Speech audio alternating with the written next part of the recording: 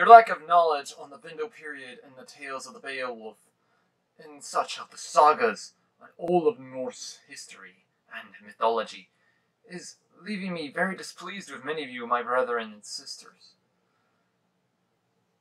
I ask you, do you know the sagas? If that is true that you do know, then we must test your knowledge. Otherwise, you must face the blade. Hello,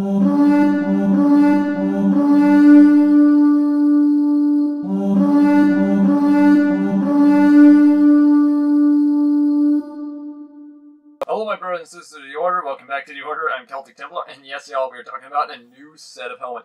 This bad boy I have acquired from a group on Etsy.com.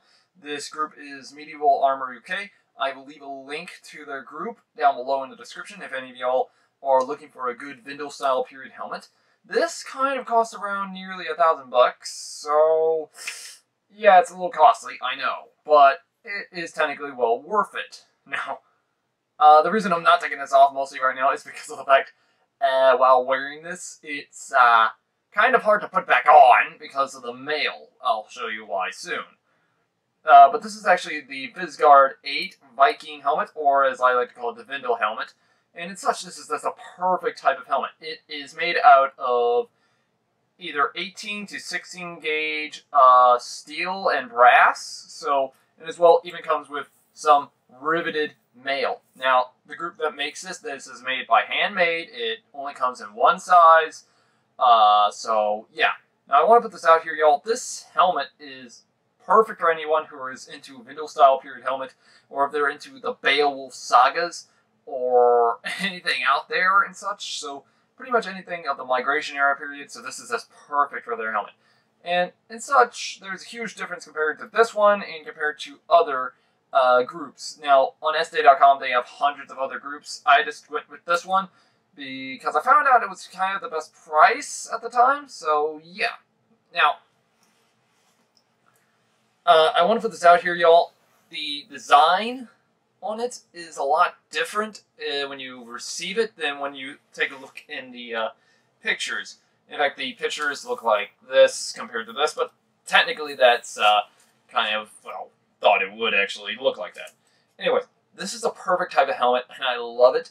Now, with this helmet, it is huge in head size because this big bubble area. Uh, if any of y'all, if if the uh, groups from over there is even watching my videos, uh, I have to say you might want to actually put this a bunch of arming caps in here because this liner that's in here apparently, it's kind of like uh, I want to say it's like something I would see from like uh, eBay groups. So not exactly the best. So uh, yeah, they might want to actually just use uh, arming caps. In fact, I had used arming caps inside this thing. Like literally, I just put took like a couple of arming caps and just put them in there. So just put a bunch of padding and such and so like that, and then just use a regular arming cap to wear it. Now, the mail design problem, there is a major problem with this upon putting it on, is because the fact on how the mail is worn on this helmet. Which I do love it still, and this thing is perfectly badass because literally, uh, the mail it tapers to the type of design like it would have during the Vendel sagas or the Middle periods. And I, well, what I really do love is the fact on this beautiful design with the brass and this uh, sheet metal, that of which is stamped on the main part of the helmet. Now, uh, this is really cool because they did their job at trying to make it look as Vendel-esque or uh, migration era period as possible. Uh, nasal guard looks a little thin, but eh, still, it is kind of actually impressive how correct they got this. Now, it is also really cool with this designed serpent head on the front. I love that, and as well, it's also on the back. Uh, as y'all can see for this entire design, this thing is this beautiful for anyone who's into uh, Vendel style migration era type reenactments and such like that. So it has this beautiful crest of the Jormungand serpent, as well. I, I believe this was Jormungand, if I, I correct, believe. Uh, but yes, this does mean I will hopefully get into the Vendel sagas, of migration era period of how-to videos. If none of y'all have ever seen my how-to videos, uh, I suggest y'all see one of my most famous one. I think would be the House Carl and and such. Uh, I hopefully will be doing something near identical to that with this. Is such, the migration period is kind of one of my favorites in the Dark Ages. I don't know why. It's like because when it comes to history, especially, uh, I am a major sucker for the Vendel period. Uh, reason now none of y'all know how the Vendel period is. The Vendel period is known as the migration era for a reason, because of the fact this is when many Germanic tribes or Scandinavian, whatever you pronounce them as, pretty much started to migrate to many parts of well the former Roman Empire, especially in the West. We see the uh, famous Vandals, the Goths, the Ostrogoths, and such.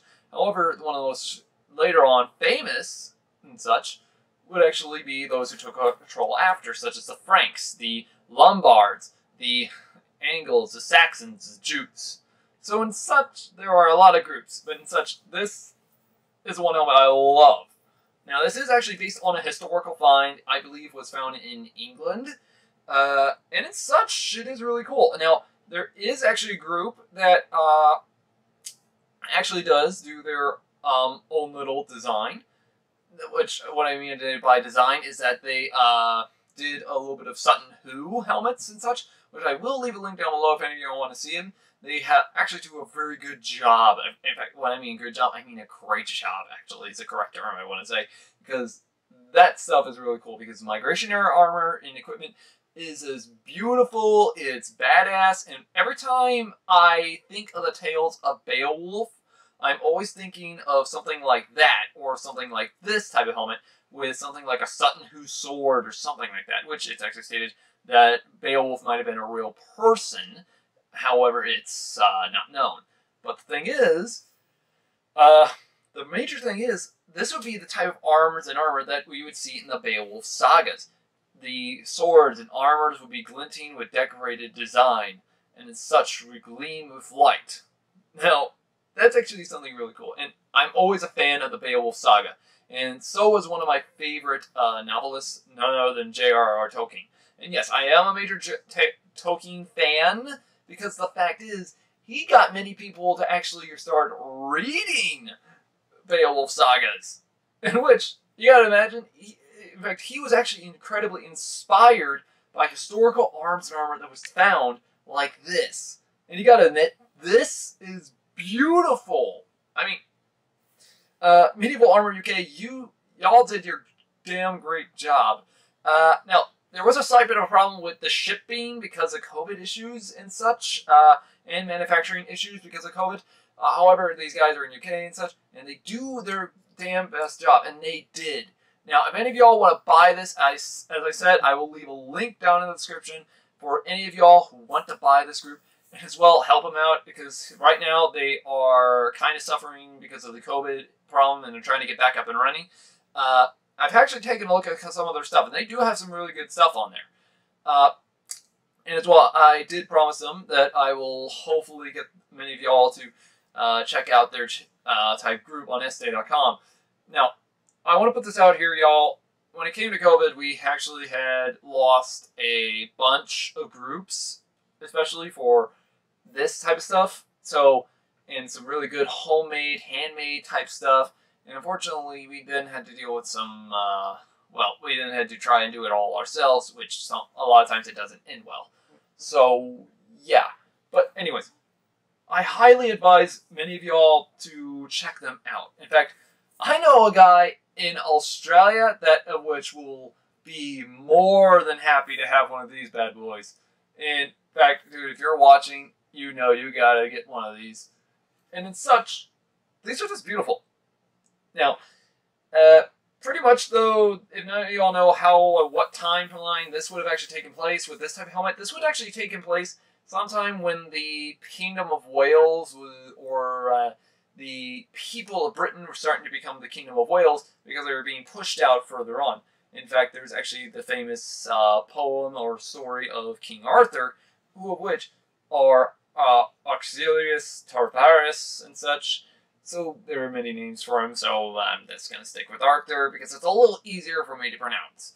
And in such, he would have fought against people like wearing this. And in fact, I know I hear many people already Templar. If you're gonna be, um, if you're a major Welshman and such, if you really are, you should not be using this. Well, I may have Welsh in my bloodline, but as well, I also do have, I have many type of Scandinavian, as well have Saxon and other Celtic blood, and in such we have to understand that, uh, well, pretty much there is a lot of Germanic in me, but you see my point. But the thing is, the history behind this, it's just beautiful. We have to know this, down to the fact it is beautiful beyond measure. Now, if any of y'all have any suggestions I should talk about on this, please let me know in the comments below. I'll be happy to take a look and see if I can get a said item for this time.